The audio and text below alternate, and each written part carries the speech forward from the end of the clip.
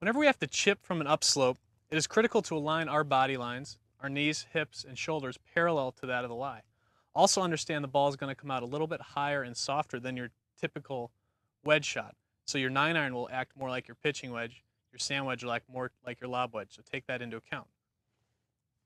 Make everything parallel with the lie, and simply continue turning your body through the golf shot after impact.